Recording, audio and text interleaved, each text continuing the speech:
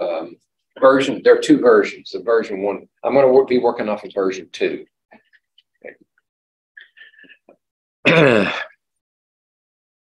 So, and it'll be here on the recording. Let's see, share, share, there we go. It's awful cold in here. Yeah, I checked the temperature is like sixty-four degrees. Yeah, that's ridiculous. Okay, there we go. All right. Yeah, let me move stuff up there, kind of out of the way. And this is version two. Oops. All right. I can't get everything on the screen at once. So let me, you know, it's not behaving.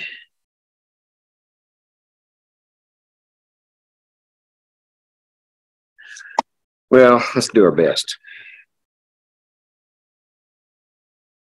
And this is uh, version two. Number one. Yeah.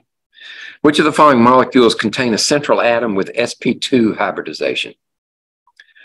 if you remember the um, uh, the table that I set up was um, maybe I'll do it again. You have the um, number of groups around the central atom. They can be single, double, triple bonds, or they can be lone pairs. Uh, I think your textbook and many textbooks refer to them as uh, effective pairs, but I call them groups. And you can have, uh, I'm not going to bother with one, two, three, four, five, and six. And then you have the electronic geometry. the electronic geometry um, is based upon these groups. And if you have only two groups around the, the uh, central atom, it's always linear. Um, three groups, well, electronic geometry is, is consistent all the way through. These are trigonal planar with three. Four groups is tetrahedral. Five groups is uh, trigonal bipyramid. And six is octahedral. Now, the question refers to hybridization. So, how would you hybridize to get two equivalent uh, atomic orbitals that would allow you to have a linear molecule? The really all you have to do is count up how many you need, right? You need to incorporate two atomic orbitals uh, to make an equivalent to hybrid orbitals. So you would start with S and just add a P. That's all you need. SP hybridization will give you linear. If you need three, then you just pick two P's. If you need tetrahedral, then you need you need four, one S and three P's. When you get down to trigonal bipyramid and octahedral, we've used up all our S's and all our P's. So now we have to go to D's. DSP3 and D2SP3. And this is all based on electronic geometry. The molecular geometry then would follow once you've determined this, then you could say something about electronic geometry, and that's consistent um, with the uh, VSEPR model anyway. But that's how you would get at hybridization. Just count the number of groups that you need. And that includes lone pairs, if you have any lone pairs. And um, then start adding them up from S's and then go to P's, P's, P's, P's. And then when you run out of those, you go to D's. So to answer the question, sp2 hybridization would be uh, trigonal planar. And since the Lewis dot structures are given here, um, we look at uh, central atoms. And for A, the central atom, you can have either aluminum or phosphorus for central atoms in that case. Uh, but around each one is four effective pairs or four groups. So they're both tetrahedral, right? That's sp3. So that wouldn't fit. B has three affected groups. So that is sp2. So B is the answer. If you go to C, you've got three bonding pairs and one lone pair. So that's sp3. Uh, same thing for um, uh, D and E is sp hybridization. So it's only got two. Right. Just in case I go in and switch them up and right and and change it from uh, say sp2 and maybe I say sp uh, dsp3 or something like that, which none of them I actually would fit that one. But just in case I mix things up. Okay, next one. Let's see. Yeah, I can get all that one on there. That was one. I'm going to leave that up there until I need the space. And three. Consider the molecule and the following hybridization choices. What's the hybridization of the carbon atom that's double bonded to oxygen? So let me draw the molecule. Oops. That was starting to dry up. See if this works. So this one has uh, four hyd three hydrogens on it. This one's got the double bonded oxygen. We call that a carbonyl. That one's got a chlorine, and this one's got a triple bonded nitrogen on it. Okay. Um, uh, just if you if you find yourself in organic chemistry, they're probably going to tell you this. But when you start building organic molecules, the rule is that carbon can have four bonds. It can only have an octet, cannot exceed the octet. So here we got four bonds, or here we got four bonds, four bonds. That's typical for carbon. One there, three there. Nitrogen tends to make three bonds. And when it does, as long as it's neutral, it has that one lone pair. Halogens are always like this. They have a, a single bond and then like that. Oh, and then this one has, uh, let's see, uh, two, four, six, and two pair here. There we go. Oxygen tends to have two bonds. Um, so back to the question.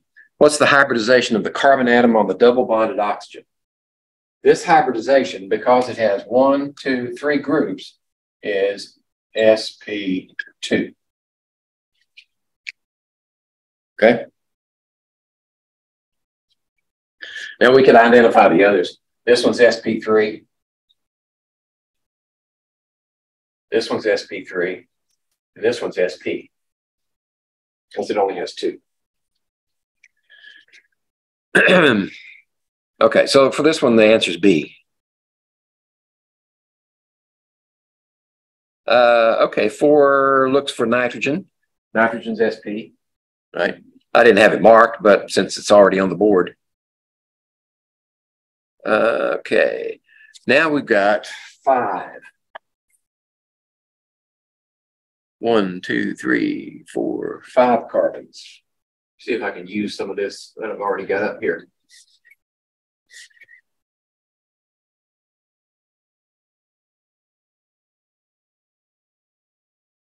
Needs another carbon. And that's five, isn't it? Yep. Okay. Um, so I've got double bond here single bond there, got a hydrogen here. Remember the shorthand um, nomenclature and uh, structure, the way we write uh, organic molecules is. If that hydrogen is sitting between two carbons, the hydrogen belongs to the carbon that it's right next to. And the bonds are actually between the carbons. So that's why I write this hydrogen up here. And these other two hydrogens go here. Okay, now we have this carbon with a carbonyl there. We have two hydrogens here. And we have a carbon there and a triple nitrogen there. Okay. Just to be complete. Okay, now for the question. What's the hybridization of each carbon atom in the fungal order? So it just, it numbers the carbon atoms when it puts those one, two, three, four, five here. Those are not subscripts. Those are just identifiers for the carbons. So the hybridization here would be sp2. Here would be sp, sp2, one, two, three, one, two, three, sp2. This one's sp3. This one's sp. And it only specified carbons, right? Okay. So with that uh, two, two, two, three, and one, it looks like A is the answer.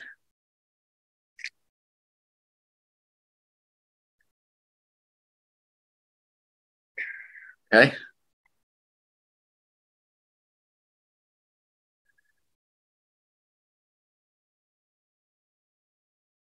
Next one. Six. Our molecule, we specify the hybridization for selenium and selenium hexafluoride. All right, so we need to draw the Lewis dot structure for this in order to find out how many pairs or uh, groups are around selenium. So selenium is uh, a chalcogen. It has six electrons. Fluorine has seven each. So that's 42 plus 6 is 48 electrons. Okay, so selenium's in the middle. And we need six fluorines.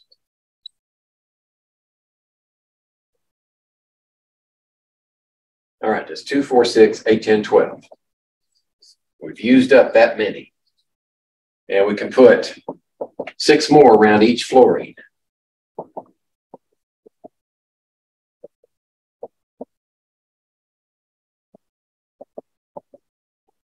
So six times six is 36. Used them all up. Okay, so now we can say the groups or effective pairs around selenium is one, two, three, four, five, six. So six means D2, SP3, three, four, five, six. That's the hybridization on selenium. Okay. Uh, which would be E. All right, let's look at nine.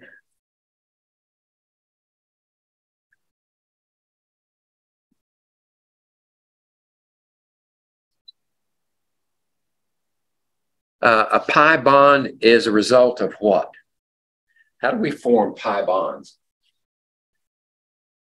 Remember when you have two atoms, you can only have one sigma bond because the sigmas are always on axis between the atoms. That's all you can have. And you can form these from um, purely atomic orbitals, or you can form them from hybridized orbitals. But when you form a pi bond, it's always from the overlap of unused p orbitals. Or, oh, say, for example, um, how about trying to pick one that's not too complicated? How about this molecule? Two carbons and four hydrogens. So we would have two carbons, and you start off with a sigma, of course, And then you would have our hydrogens. And these can only have sigmas, so we don't have to bother with those. But now we still have, um, let's see, 2 times 4 is 8, or is 12. 2, 4, 6, 8, 10. And 12 means that we'd have another pair here that goes into that double bond, which means that's a pi. But how does that pi form? Well, you've got one, two, three groups here, which means it's sp2 hybridized. And that means that there's one um, unused p orbital, say it's pz, unused p orbital each carbon. Those p orbitals sideways overlap, and that's what makes your pi bond. So uh, the one that satisfies those conditions, sideways overlap of two parallel p orbitals is D.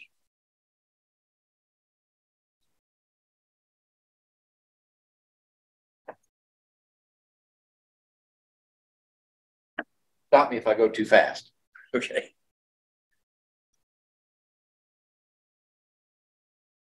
All right.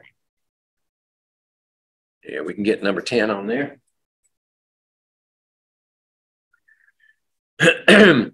Use the molecules below to answer the next three questions. Yeah, that's okay. I think I put those together. There's only two questions here, so there must have been three at one time. Okay, so we've got these, these to choose from. It's a ring structure. And by convention, wherever these lines meet is a carbon atom. Okay. Um, so this one's got those three, these two, and that one. Uh, and it gives you the formulas, which really is neither here nor there right now. But for 10, which molecules have p orbitals that share an electron pair to create pi bonding? Oh, so we have uh, room number one, two, and three. Um, right. So which ones do?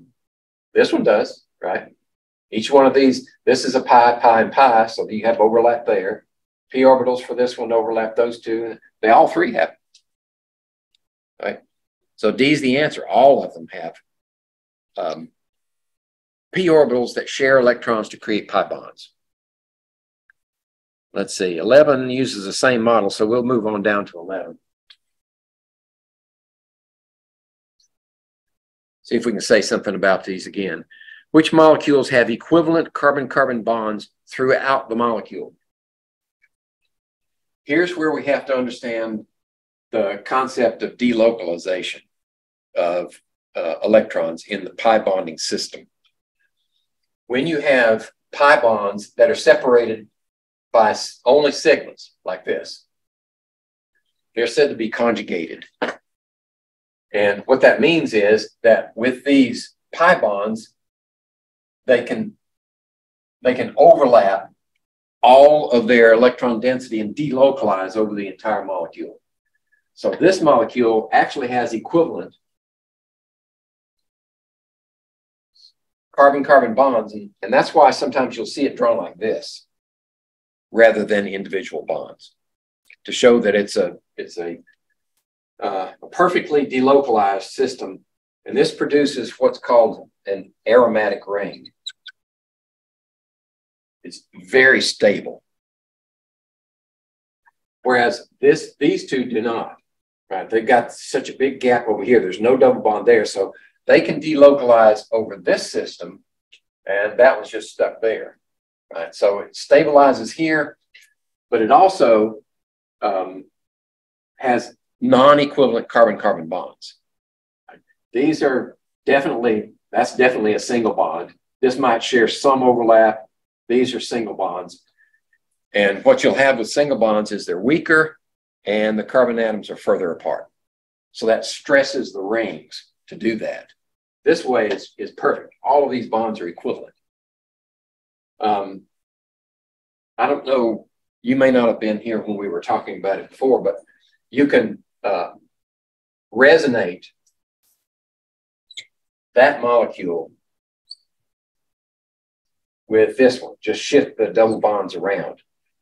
And that's the way you show resonance. Oh, but the answer is uh, A. That number one molecule, Roman numeral one, is the only one that has equivalent bonds all the way around.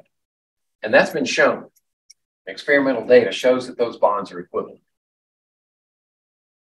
So, like I say, nature just does what it does, and we have to explain it. And they're equivalent bonds, and that's the way we explain it. All right, so let's look at 12. I have to I think one of these will work. It's Starting to lighten up on me.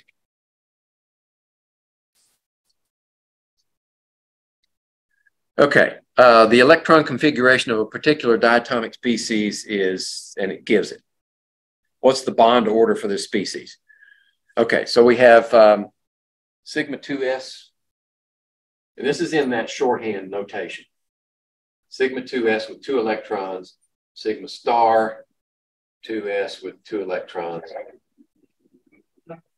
And then you go to sigma 2p, sigma 2p with two electrons, and pi 2p. Remember, pi, pi's in this molecular orbital model can have four electrons maximum. And then we have pi star.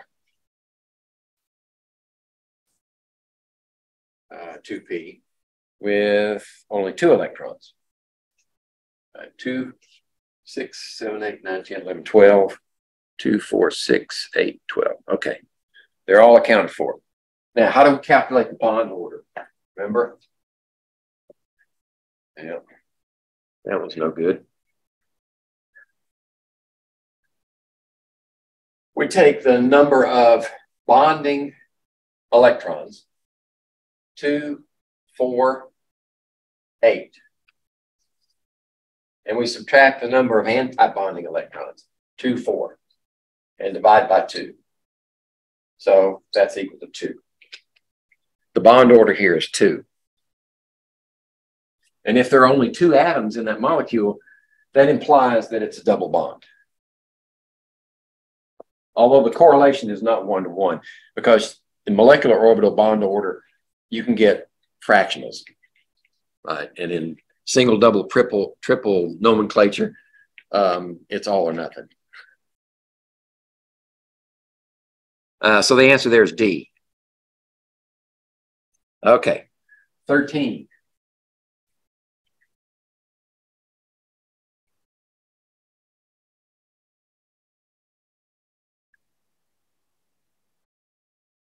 Um, as the bond order of a bond increases, so the bond order, the trend, as the trend increases bond order, what happens to the bond energy and the bond length. Okay. As the bond order increases, the bond strengthens. So the bond energy increases. Takes more energy to break the bond. And the bond length shrinks. It gets closer together, tightens. So the bond length decreases. So increase, decrease would be the answer. And that's C.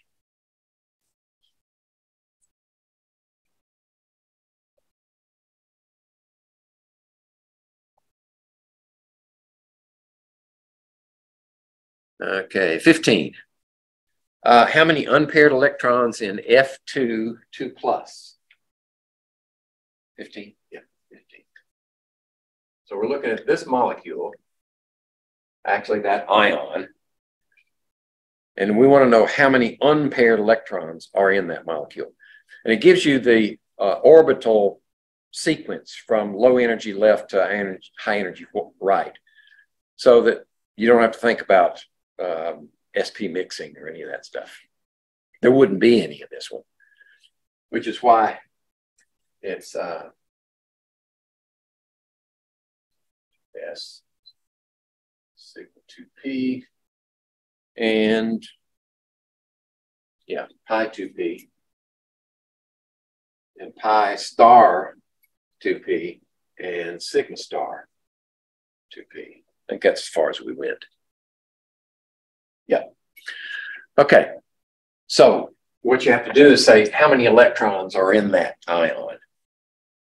I always start from the neutral.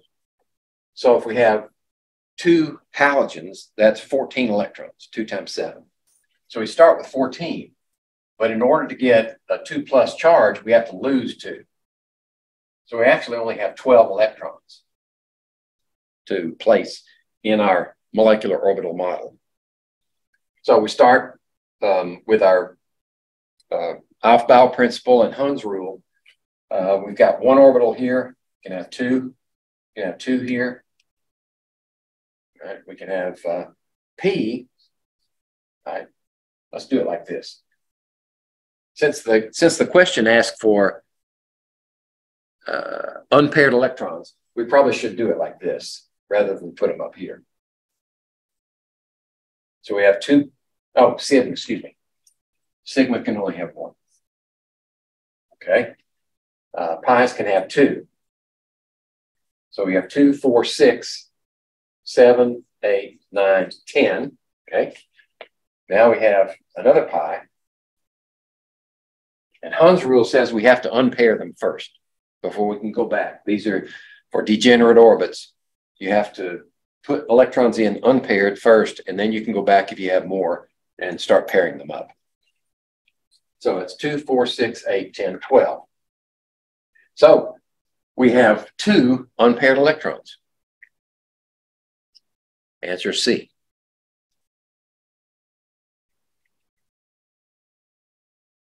All right.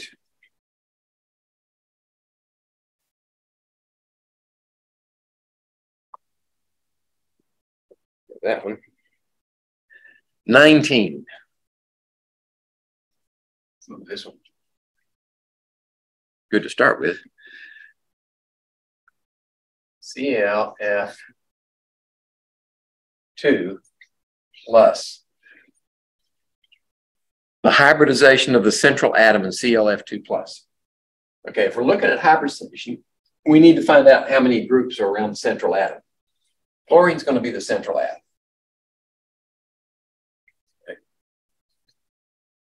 Uh, how many electrons are we dealing with?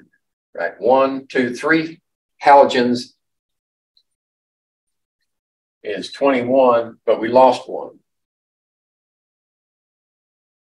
So we only have 20 electrons to deal with. So there's two, four. That's 16 electrons left over. So two, four, six, eight, 10, 12. Right, so we have four more electrons left. Two. So there's our Lewis dot structure. And um, around the central atom, which would be chlorine, two, four, we have one, two, three, four, which is sp3 hybridization. That's C. 21.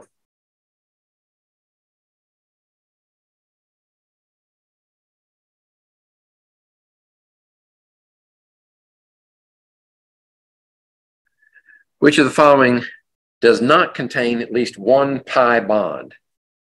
Okay, so we're looking for the one with not any pi bonds. All right. So V, C, D, and E is none of the above. All right, what do we have here? H2C, H2CO, H2CO, CO2, C2H4, and C2H6. All right, that one's given out. Try this one. okay, so how many electrons do we have here? We have two, plus four is six, plus six is 12. 12 electrons. Here we have four plus 2 times 6 is 12. That's 16 electrons. Is that right? Yep. Uh, this one is two times four is eight, plus four is 12. And this one is six plus eight is 14. So now we can draw the Lewis structures. Right. Carbon here, then we're going to have an oxygen and two hydrogens. Okay, two, four, six. So that means we have six electrons left. And we have two, four, six. Okay, carbon has to have an octet. So what we have to do is move two of these over here. And that makes a pi bond. So that one's got a pi bond. Can't be that one. How about carbon dioxide? We've done carbon dioxide before. Right? We don't have to, to uh, uh, stress over this one.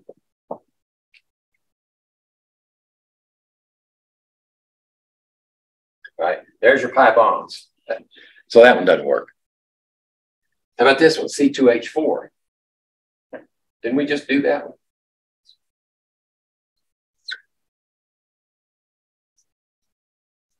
There's your four hydrogens. Two, four, six, eight, ten. So I need two more electrons here, makes a pi bond. Right? Can't be that one. How about this one? Carbon, carbon, and hydrogens. And that one's out. So that's 2, 4, 6, 8, 10, 12, 14. Use them all up. That's got no pi bonds in it. There's an octet here. All the hydrogens have duets, octets for each carbon. This is the one. That has no pi bonds in it. That's uh, ethane.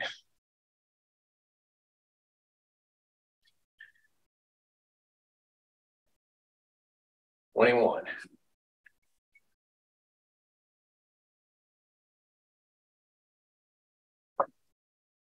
Hey. 24. Complete the Lewis structure for the following molecule. The molecule has so many sigma bonds and so many pi bonds. Okay. Let's see, one, two, three, four carbons in the chain. Two, three, four. Then we've got three hydrogens.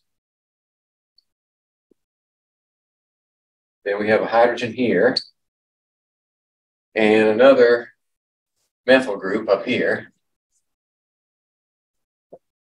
Okay. Then we have an oxygen stuck on there, carbon here, and a nitrogen there. Okay, now that's an incomplete structure. So what we have to do is uh, finish the Lewis dot structure. So we have how many carbons? One, two, three, four, five. Five times four, right, plus hydrogens. One, two, three, four, five, six, seven. Seven hydrogens. And then oxygens is six, and nitrogen is five. Valence electrons. That's what I'm counting on. Okay, so this is 20. That's 27. Uh, 33, 38, 38 electrons. All right, total. So we have 2, 4, 6, 8, 2, 4, 6, 8, 10, 12, 14, 16, 18, 20, 22, 24, 26. Uh, it's 12 electrons left. So we start from the outside and move in. And the outside, in this case, None of these hydrogens qualify. They're all full. So we have to work from here. So this is outside and this is outside. We have 12 electrons. 2, 4, 6, 8, 10, 12. Okay, we used up all our electrons. Now we got to make octets. The best way to make an octet for this carbon is to do it on that side only. So we would move these two and those two over. That makes an octet here for this carbon and keeps the octet for nitrogen.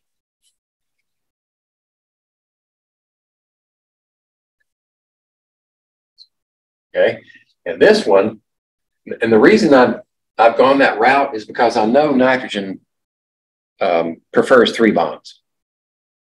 So I put three bonds here for nitrogen. Oxygen prefers two bonds. So we're going to take one of those and put it over here. And that makes a double bond here. So we've got an uh, octet there, octet there, two, four, six, eight there, two, four, six, eight there. Everybody's got an octet or a duet. Now to answer the question, how many sigma bonds do we have? You always got to have a sigma bond before you can have a pi. So anywhere there's a bond, it's a sigma.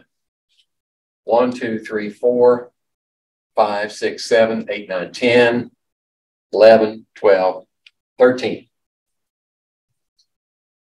13 sigmas. And then you look for double and triple bonds. So there's a pi, there's a pi, and there's another pi. So we have three pi's. So 13 sigmas and three pi's is E. Probably the trickiest part about this, um, once you've laid out the basic skeleton, is knowing that this oxygen and that nitrogen are the outsides as you move in, placing your extra electrons. And then where do they go? Um, um, and uh, then making your octets.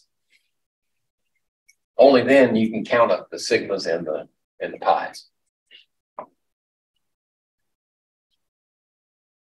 All right, 26.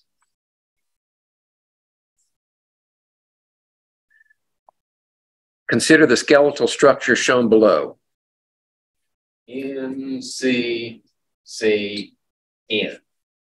Now, we have to assume, if we're going to draw the Lewis dot structure and answer the following questions, we have to assume that there are no other atoms in here. It's just carbon and nitrogen and nothing else. Um, so we have uh, five valence, five valence, that's 10 and two fours is eight. That's 18 electrons. We have two, four, six used up, 12 electrons. Two, four, six, two, four, six makes 12. Okay. Now we got to form octets. Best way to form octet is just move these two here, here, do the same thing on that side. So now we have a triple bond here, single there, triple there, with lone pairs on the end. Now the question is, how many pi bonds does this molecule have? It's got two here, one, two, three, four. Four pi bonds total. C is the answer.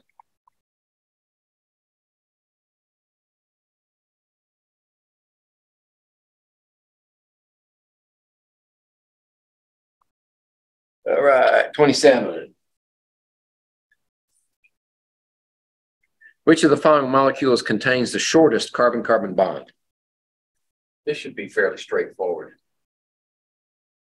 If you've ever drawn these before, then you shouldn't have to take a whole lot of time. Uh, oh, and E is B and D. B and D. Okay. A is this one, C2H2. E, yeah. C2H4, C2H6, and C2Cl2, 4. There we go. Okay. Draw the Lewis dot structure.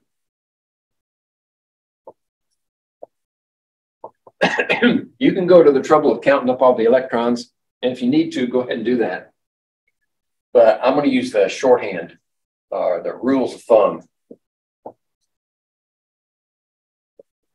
I'm going to draw the skeletons first.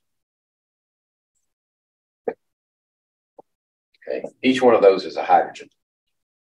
Then this one is chlorine there, chlorine there, chlorine there, chlorine there.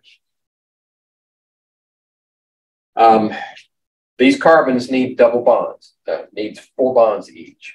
So I'm going to put a double there. This one's going to be a triple. That's a single. I better write these in. And this one's going to be a double.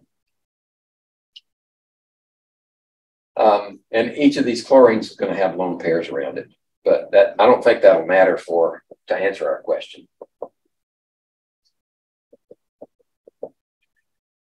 Which is shortest carbon-carbon bond. So the shortest carbon bond is the one that has the strongest bond between the two carbons. That would be this one right here. Uh, the more as you uh, increase the strength of the bond, you decrease the distance between the atoms. Um, now, the way that question is worded, we stop here. That's all you need. If we change the wording around and say, um, uh, which is the longest bond, well, this one would be the longest right here. Or if we worded it some way that would cause us to, to need to uh, uh, break a tie between B and, and D, then you would look at um, the contribution of these chlorines versus these hydrogens. Chlorines tend to be more electronegative than carbon. Now, this doesn't have anything to do with the answer, it's just something else. Chlorines are elect more electronegative than carbon. They draw electron density away from the carbons, which robs this bond of its electron density to a certain extent and weakens the bond. So this would be a weaker bond, which means the carbons are further apart than this one. So if we're breaking a tie, this one would be a shorter bond than that one. Or if, we, if the question was, put them in order of uh, weakest to strongest. Right? This would be the strongest on that end. This would be the um, this would be the weakest on that end, and then these two you have to figure out which one's which. This would be the stronger one, and this would be the weaker one for, for that reason.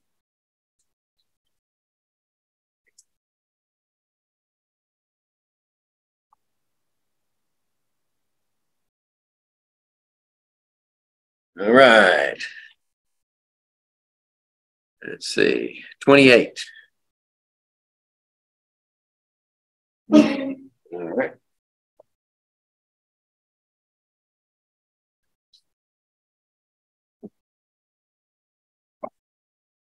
Pause for a moment.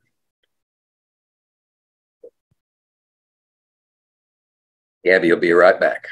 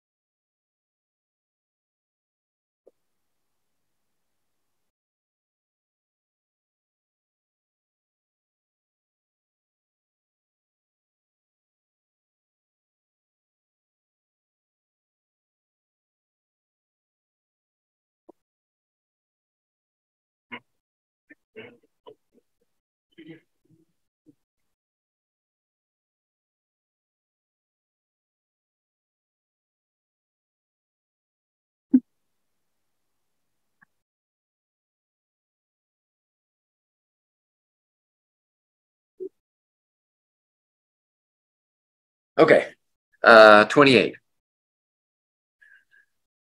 There.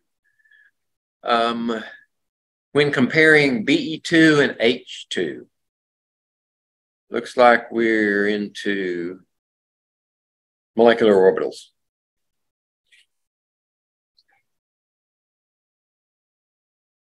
And H2.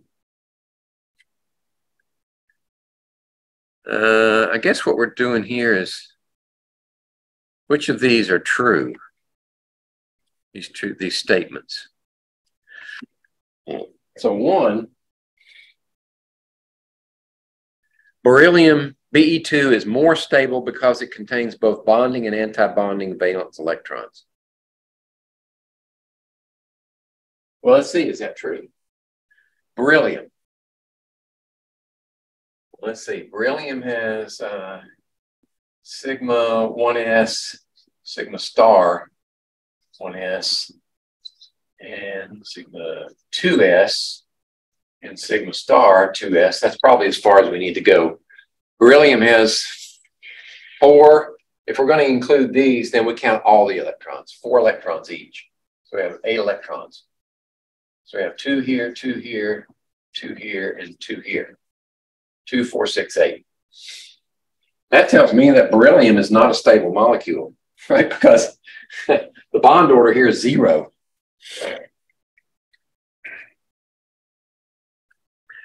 Um, beryllium is more stable because it contains both bonding and anti-bonding. No, that doesn't add to its stability. That statement, stability would be more bonding electrons than anti-bonding electrons. That would contribute to stability. So sta statement one is false.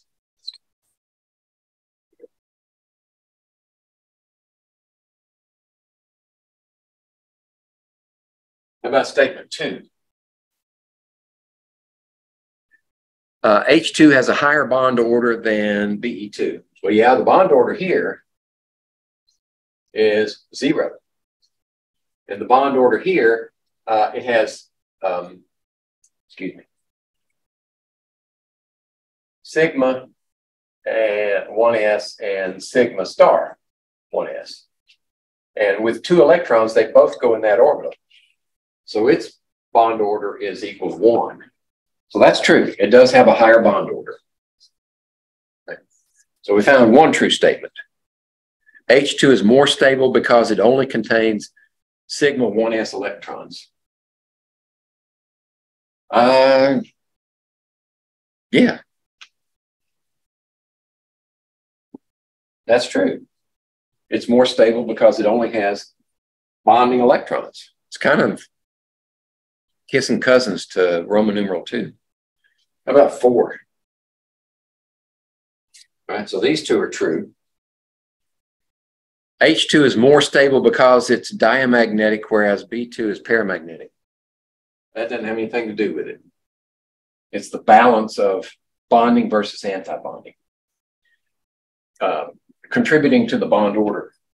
Um, paramagnetism and diamagnetism are true phenomena, but they don't have anything to do with directly with bond stability. It's just the bond order. So two and three is C. C is the answer to number 28.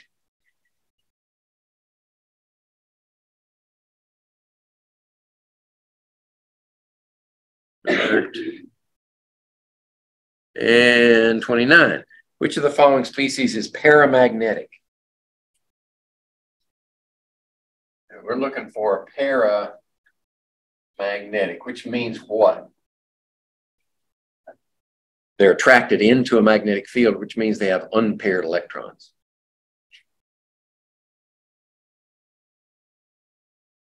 Unpaired electrons. Right, so we're looking for unpaired electrons for C2O2F2, C2O2F2, and Li2. B, C, D. Okay, uh, the best way to do this one, since I didn't have to memorize the uh, um, the order of uh, molecular orbitals is to use this chart that will be on the exam. And C2 is uh, sigma 2s, sigma star 2s, and pi 2p. Right? So four each means eight, eight electrons. Two, four, six, eight. This is full, that's full, that's full, that's full. This is diamagnetic. O2.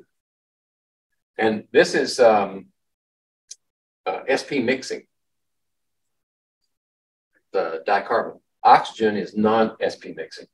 So it's going to have uh, sigma 2s, sigma star 2s, sigma 2p, pi 2p, pi star 2p, and sigma star 2p. And that's six each, which is 12. So it's two, four, six, eight. Oh, excuse me, two, four, six. And four more is uh, 10.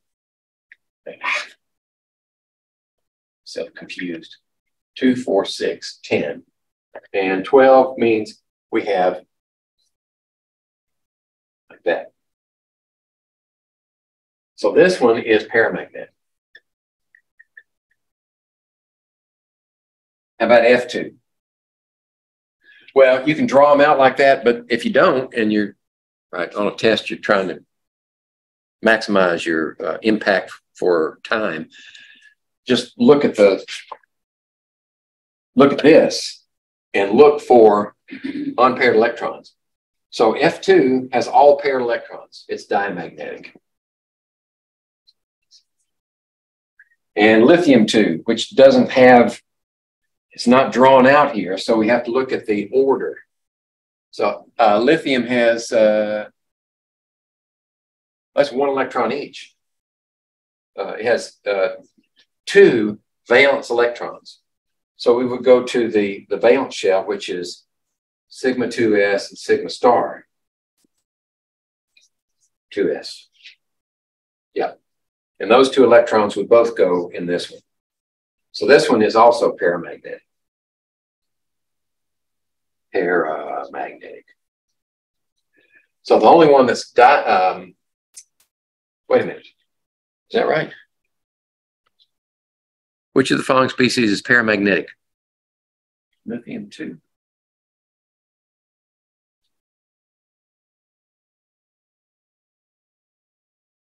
D E. None of these. Well, this one's right. But why does why does it leave lithium out? One, two. That's one electron each. Ah, that's a that's a problem. Because these are both supposed to be paramagnetic. Unless I'm reading this wrong.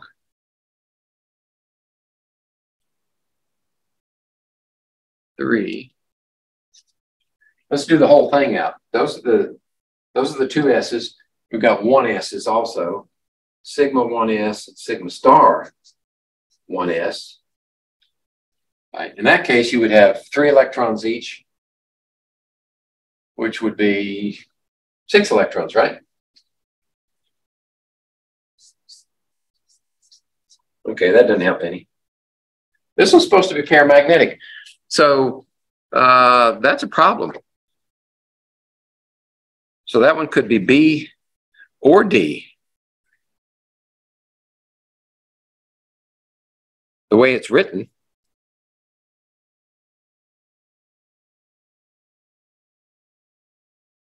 Yeah.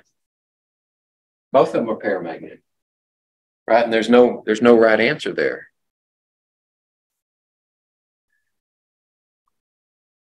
So the way to fix that is either change the question or change E to uh, two of the above.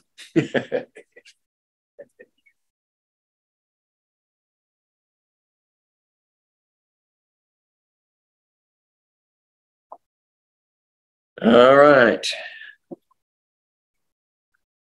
Dead soldier. Um, 30.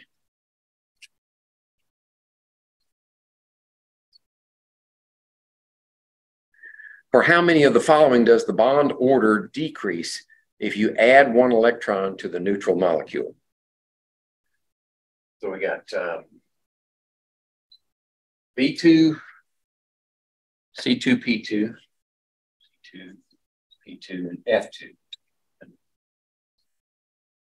All right, so what we have to do here is um, we need to get the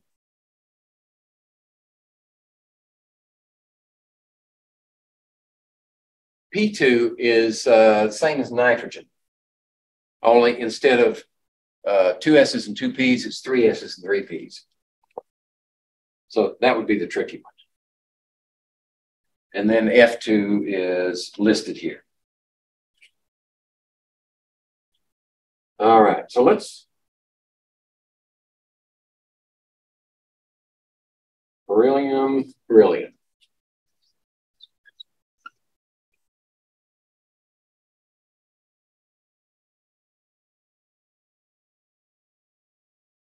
Oops. S2P. Um, SP mixing for beryllium. So it's pi first. And then sigma. Okay. And we're not going to need that one anyway. Because it's got uh, two here, two here, and two here. So they're unpaired. Then carbon uh, the same sequence, and it has two here, two here, and four here. Yeah. Okay. And phosphorus is going to be sigma 3s. And since it's under nitrogen, it's sp mixing. So uh, 3s star and pi 3p. And we're also going to need some sigma 3p's. Okay, so uh, valences for phosphorus, same as nitrogen, is 5 each. So we have 10. 2, 4, and 4 is 8. And then 10.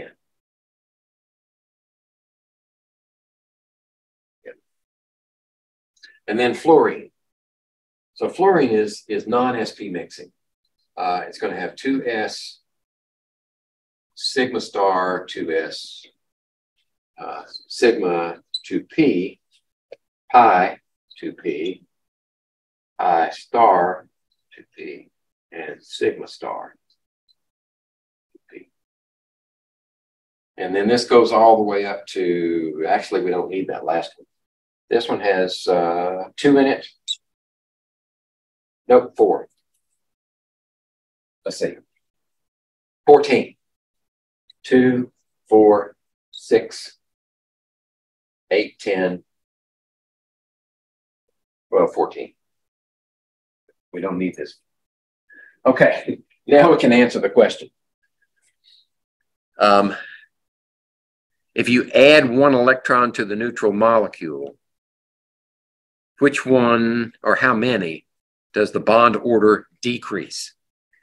In order to, to answer that question, decreasing, don't need this one, decreasing the bond order would be uh, adding an electron to a uh, anti-bonding orbital because that would change the mix.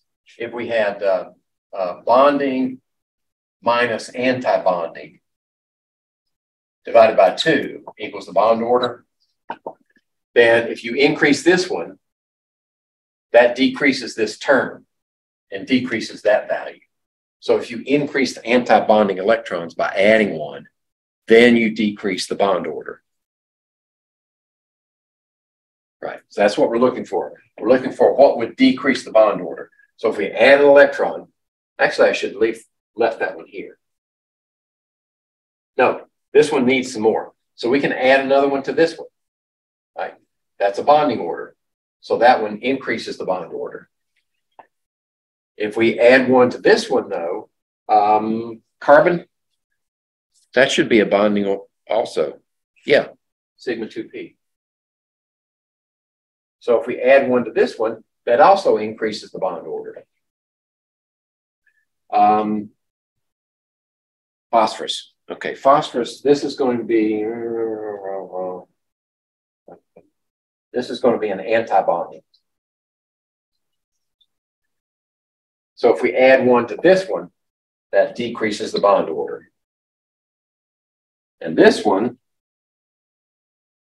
let's see, sigma, this is also an anti-bonding. So we add one to that one because this one's full. This one's full, that one was full. So we add one there, that decreases there. So two of them, if we add an electron to, to the molecule, which would make it a negative ion, uh, decreases the bond order. So that's uh, C. Okay.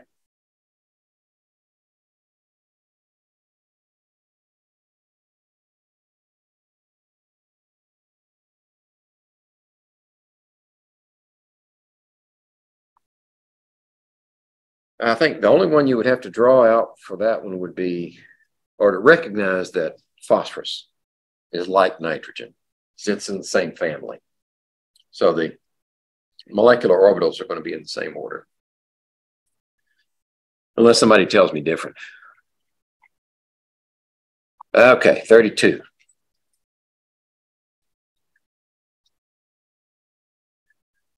Order the following from shortest to longest bond. Don't forget the effect of atomic radius and orbital size. Okay, we'll keep that in mind. So C2, B2, H2, and N2.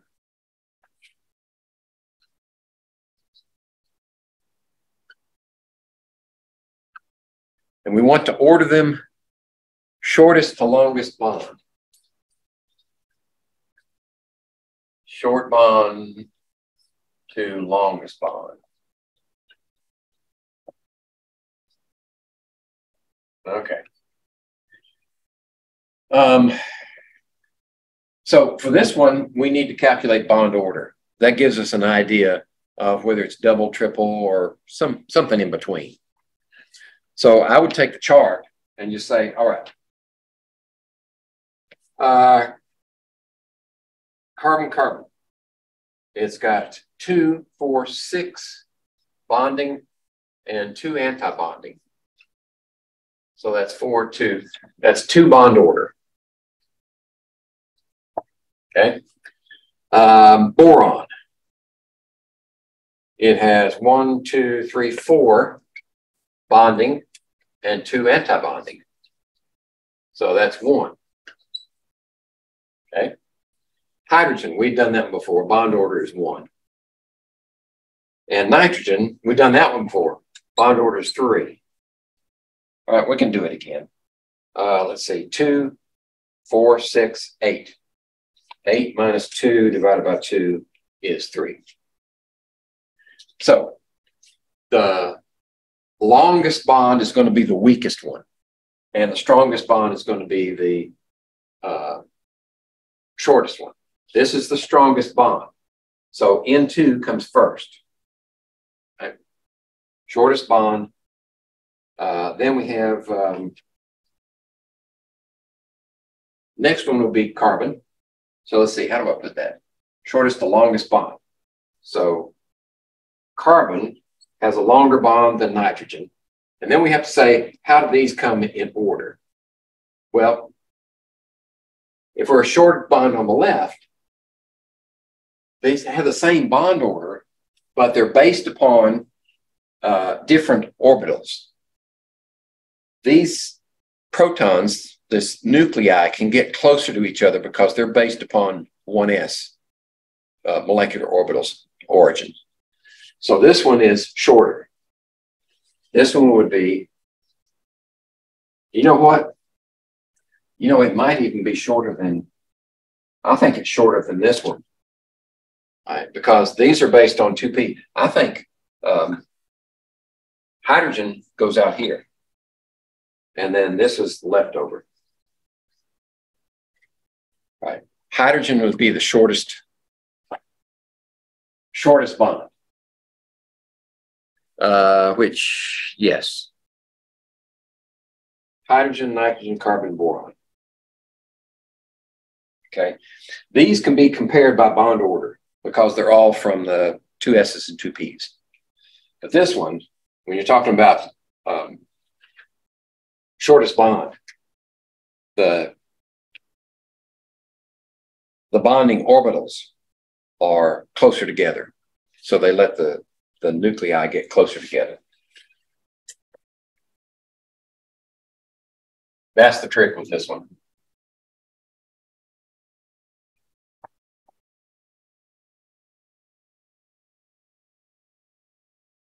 All right, which of the following has a bond order of 1.5? 34.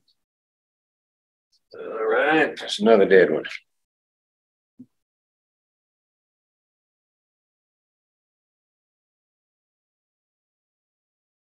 Thirty-four? Yeah, thirty-four. Which following a bond order of one point five? We're looking for a bond order of one point five. All right, so we have O two plus.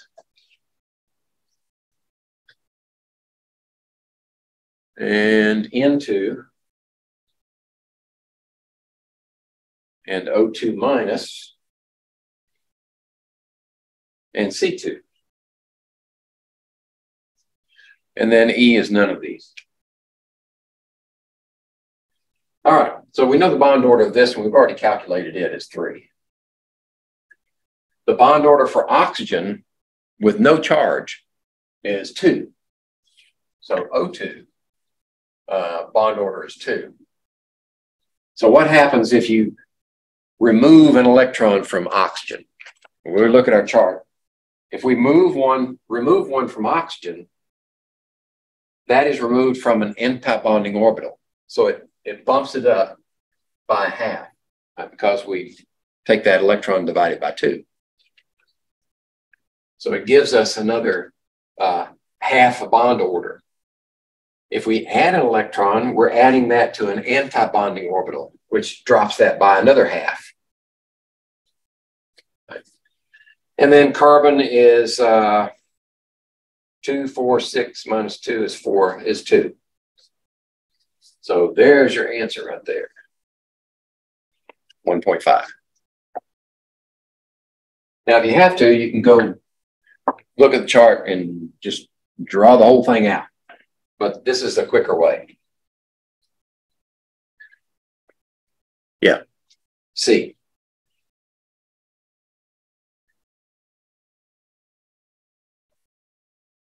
Thirty-four. Thirty-six.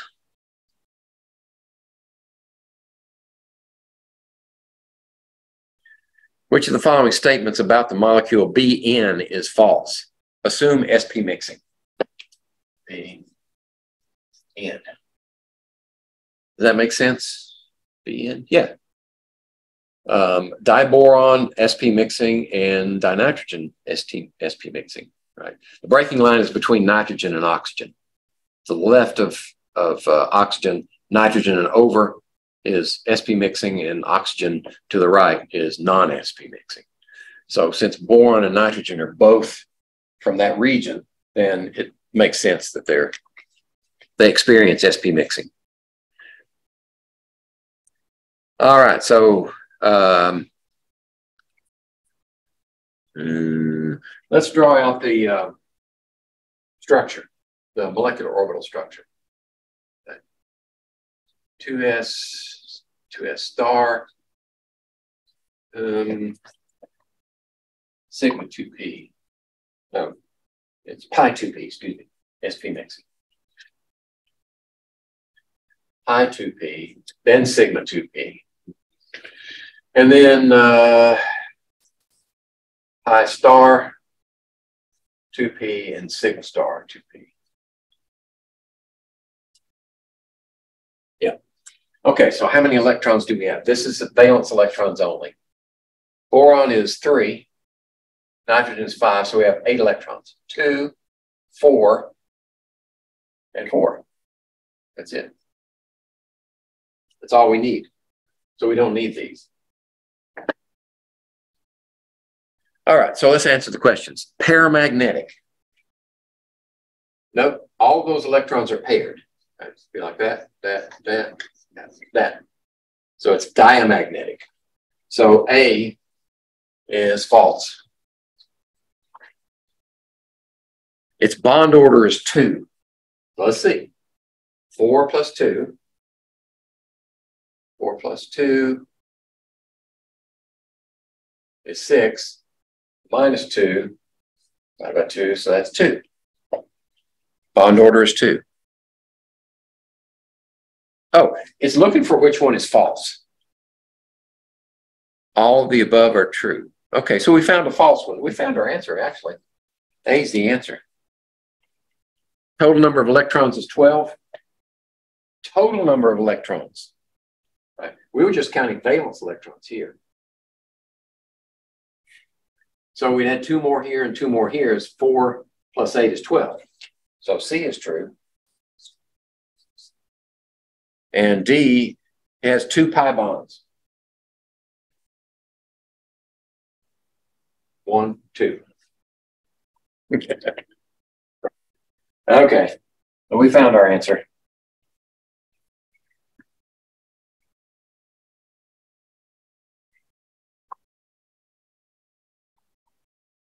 Thirty-eight. Which of the following molecules are or ions is not paramagnetic in its ground state?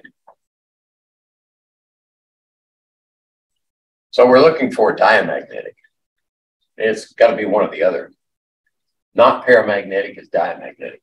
Which means all the electrons are paired. So let's see, O2. Let me put them all up here first. O2 plus and B2. B2. And NO. And we assume no mixing, no SP mixing. And E is F2. Okay, so let's look at, we can do these from, uh, from the chart. Uh, O2 is paramagnetic. You can look, it's got unpaired electrons. O2 plus which means you you remove one of the electrons, it comes, it is derived from an antibonding orbital, but there are two unpaired electrons in that antibonding orbital, so it's still paramagnetic because we only removed one of them. Uh, B2, it's still paramagnetic also because it has uh, a pi 2p orbital with two unpaired electrons, we remove one of them and still got one unpaired electron. So all these are paramagnetic.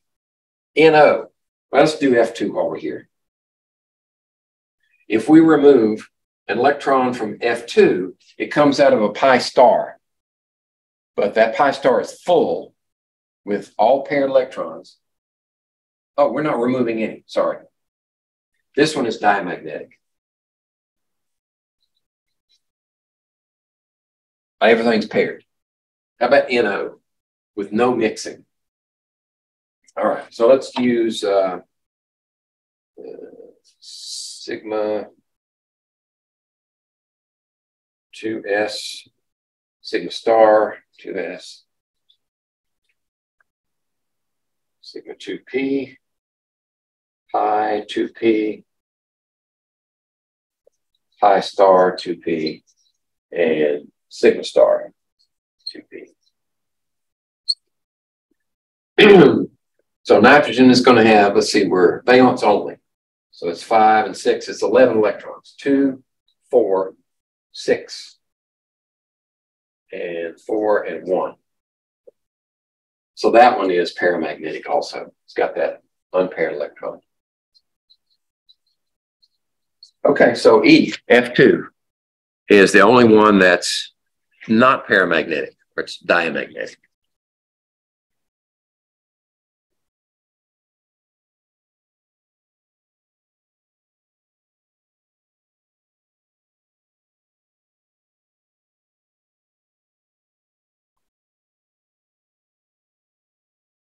Thirty-nine. In the molecular orbital description of carbon monoxide with mixing,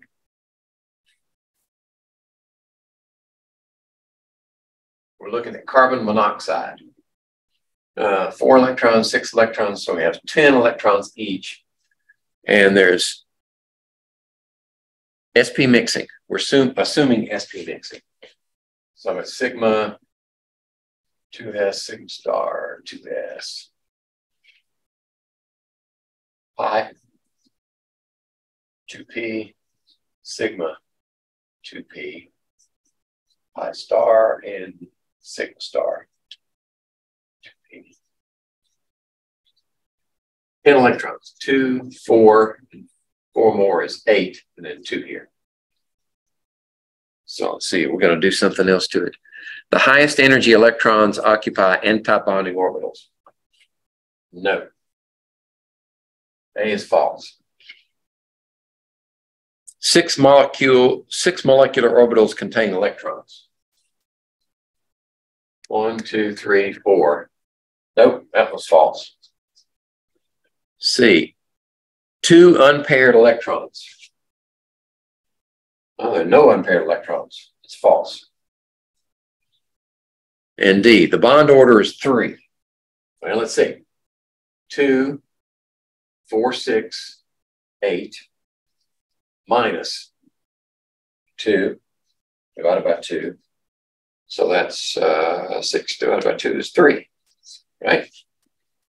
D is true. Here's your answer.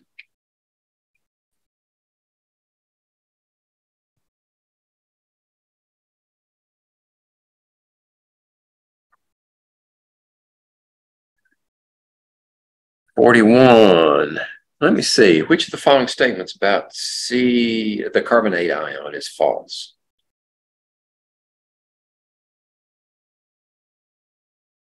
Okay. Let's take some explaining.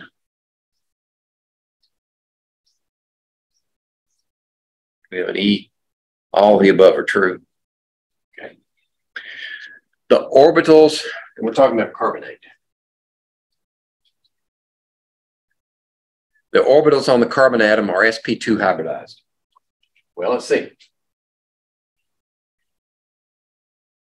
We have um, four, three times six is 18, and two more is 24. So carbon, oxygen, oxygen, oxygen, 246 equals 18.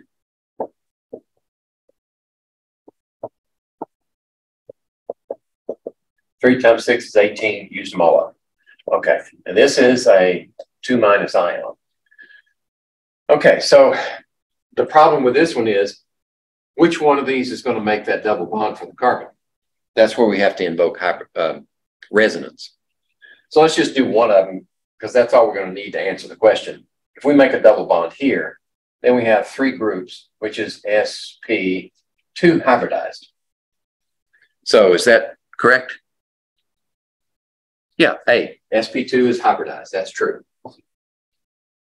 B, the ion is expected to be paramagnetic. All right.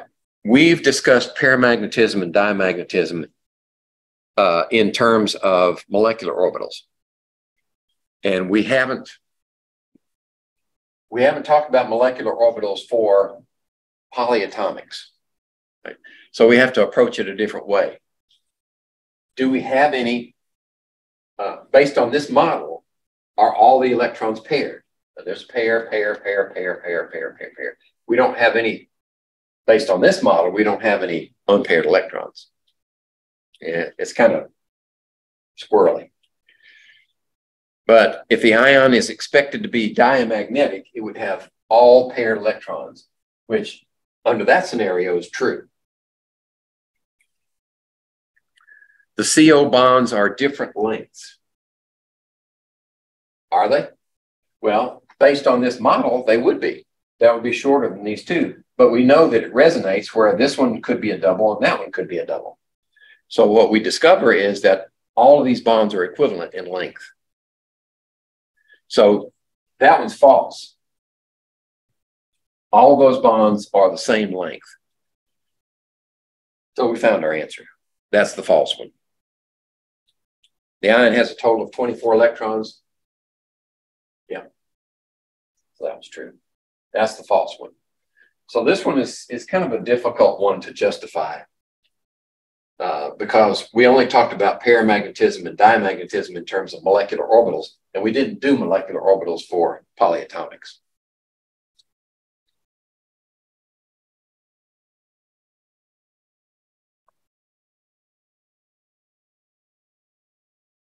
All right.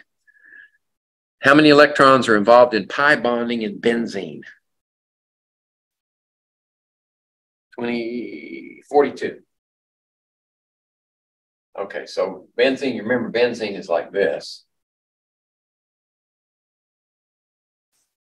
If we draw it like that, then the electrons involved in pi bonding are uh, pi here, pi here, pi here, which is six electrons, or three pair uh, which would be six. Uh, excuse me, D.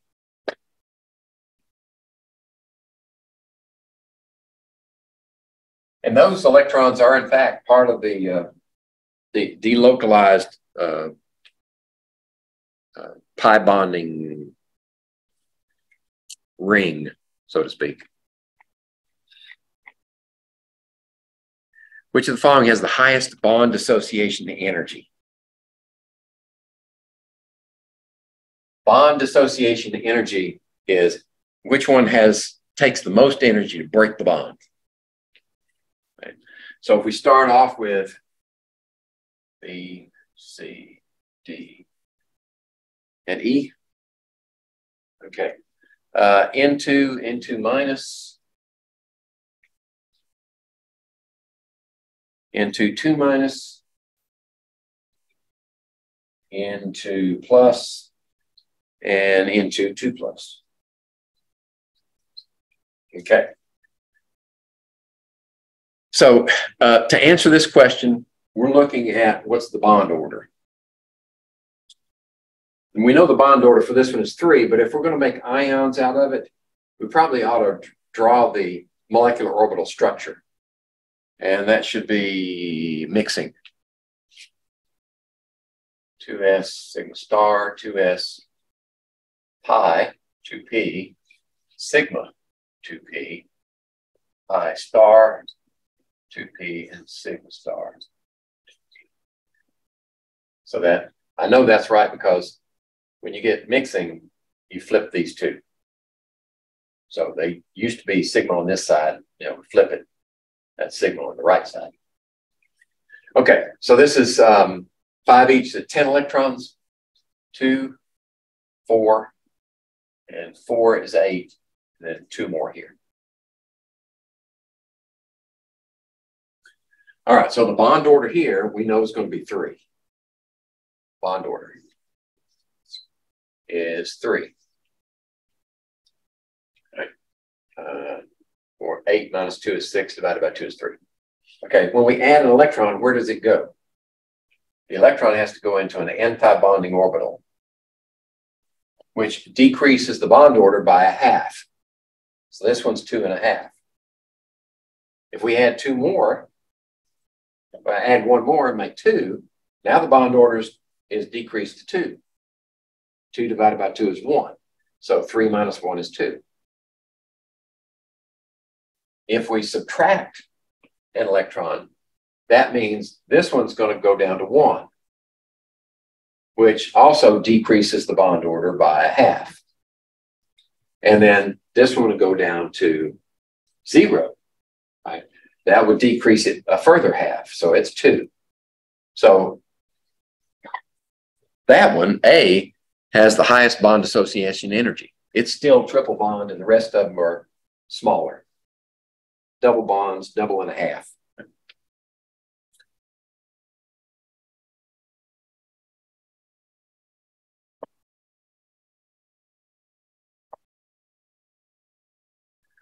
All right. Let's see, it's too far. 47. Which of the following does not contain a central atom with D2sp3? Uh, A. Wait a minute. 47. A, B, D. And this one is uh, xenon pentafluoride. with a charge. And IF4 with a charge. And SF6. And SEF5. SEF5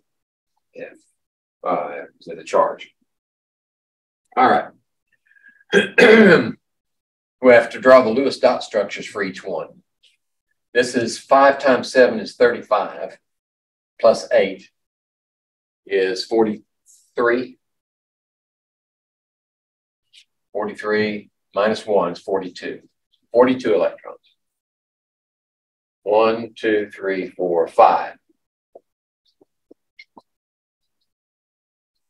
Two, four, six, eight, ten. So now we're down to 32.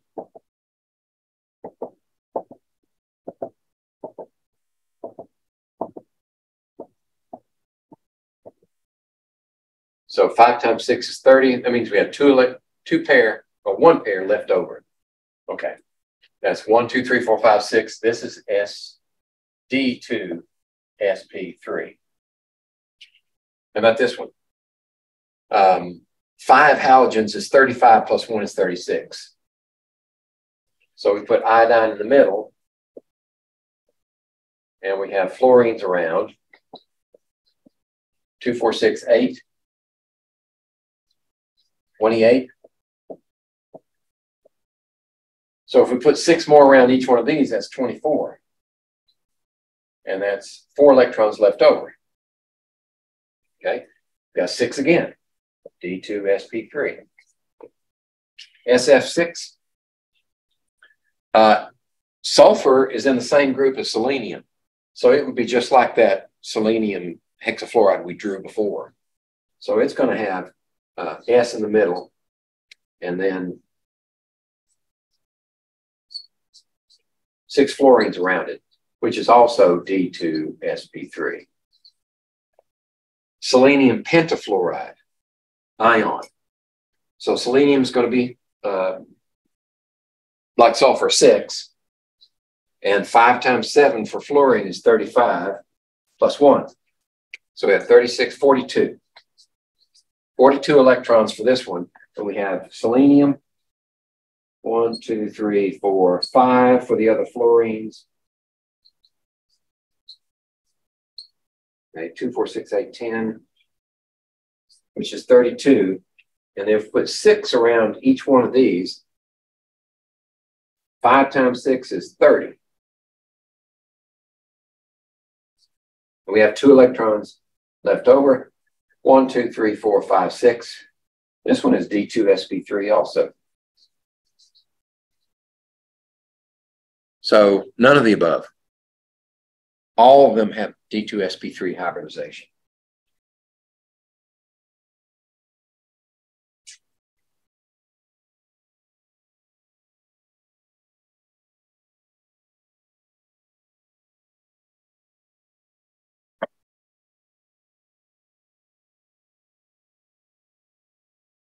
All right, 47.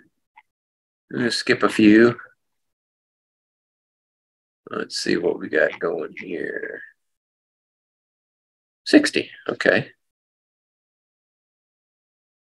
All right, we got to fill out this chart. We've got uh, molecule A, B, and C.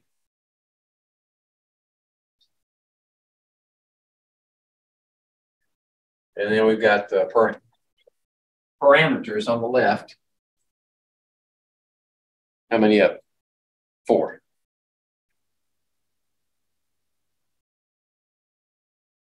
One, two, three, four. This one's going to be electronic geometry. This one's going to be hybridization. This one's going to be bond angles. And this one's going to be examples. All right. And looks like we're given one already. SP3 for this one. Okay, so let me scroll back down so we can get the conditions. Um, molecule A has hybridization SP3, that's given. molecule B has two more effective pairs. So if this one has two more effective pairs, they got to be here, D2SP3. Uh, that also means that this one has to be tetrahedral geometry. This one has to be octahedral. And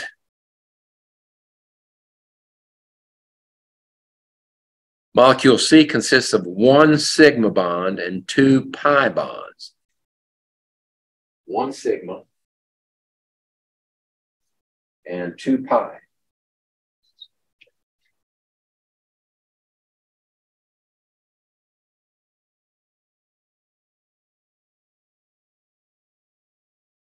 Okay. So what kind of molecule will give you um, just one sigma? Diatomic. That's the only thing you can do. If it's triatomic, you got to have two sigmas. So it has to be diatomic to give you one sigma. Now, how do you get two pi's out of that? Well, you make a triple bond. So that means it has to be linear. No other choice. And that also means that both of them have to be hybridized SP. Okay. So we got that much done. How about bond angles? SP3 is tetrahedral. The bond angles, they would typically be 109.5 degrees. As long as you don't have any lone pairs. If you have lone pairs in there, then that that puts extra pressure on the bond and shrinks the bond angles. But nominally speaking, 109.5. Examples, methane or carbon tetrachloride would be good. How about octahedral? Octahedral, I always have to draw it out you have a square in the middle and your central atom there, and then there's something out here, right? So if you draw the lines to each one of these, you get an eight-sided object. Um, so what are the bond angles possible? Well, if all of these positions are occupied by atoms, then your bond angles possible are 90 degrees here, 90 degrees there, or 180 degrees there. So maximum 90 and 180 degrees. So what's the possibility there? Well, we did a couple of them already. Uh, S, uh, SF6 would be a good example. Uh, linear. Linear always has to be 180 degrees. You don't have any other choice. And good example here is like um, um, dinitrogen or acetylene has a triple bond in it. Oh, no, that wouldn't be it. Right, because that's got two extra sigmas. So this would be the best, dinitrogen. Oh, carbon monoxide, that works too.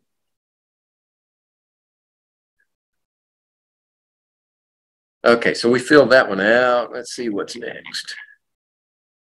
Oh, got a, got a chart here. Draw a molecular orbital diagram of O2 and N2 using molecular orbital theory. Okay, this one's easy. You just have to replicate that right there. And uh, be sure and label which one's which if this comes up, N2 or O2. Right. And then use that diagram to explain why the removal of one electron from O2 strengthens a bond while the removal of electron from N2 weakens the bond. Right? We had uh, examples of N2 up here where we weakened the bond. Um, removal of an electron is actually for uh, nitrogen. There it is on the left. You're removing an electron from a bonding orbital. So that weakens the bond. Whereas for oxygen, when you remove an electron, you're removing it from an antibonding orbital, which strengthens the bond. And you just have to put that in your own words. That's it. Those are all the ones I had picked out to review. Um, if there are any others in, uh, I assume that nobody's looked at uh, version two. But if there are any in version one that give you trouble, then we can talk about them now. Otherwise, we're done for the semester. All all over now is, uh, is getting that last report in and um, take taking the last exam, huh? Yeah. yeah. Any questions from the Zoomers? Now, if you if you go in Brightspace and you don't see a grade, uh, all the exams are taken. So if you don't see a grade for a lab, that means either you didn't turn it in or didn't come through. If it didn't come through Brightspace, then I never saw it and I can't grade it. So check your grades and see if, if you have a, a grade missing, that means there's probably a report missing somewhere. So be sure and, and get those to me so I'll have enough time to grade them. Otherwise, uh, Merry Christmas. Have a good break. and we'll, uh, uh, maybe we'll see you next semester.